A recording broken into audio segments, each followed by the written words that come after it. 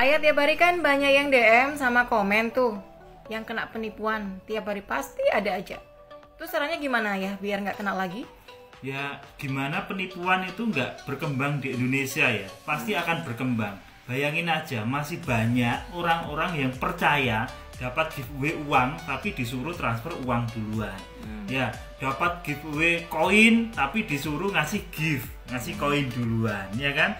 Terus Ya. masih banyak orang yang percaya kemudian ada lelang barang murah secara online. Bayangin NMAX dilelang 10 juta iPhone yang harusnya 12 juta dilelang 1 juta. Masih banyak yang percaya. Masih banyak pula orang-orang yang percaya dapat lowongan kerja paruh waktu ya.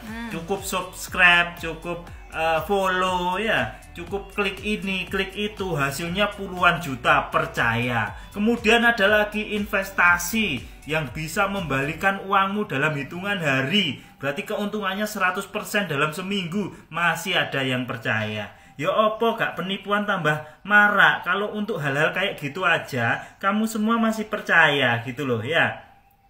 Jadi udahlah di dunia online ini kamu harus hati-hati karena orang Indonesia tuh menurut saya baik-baik semuanya. Karena saking baiknya akhirnya mereka itu husnudon, mudah percaya. Padahal apa pun yang kamu serap, kamu lihat di dunia online ini jangan langsung percaya karena kehusnudonanmu itu karena kamu orangnya baik, kamu gampang percaya makanya kamu gampang juga ditipu. Hati-hati ya mulai sekarang ya. Oke, hati-hati semua.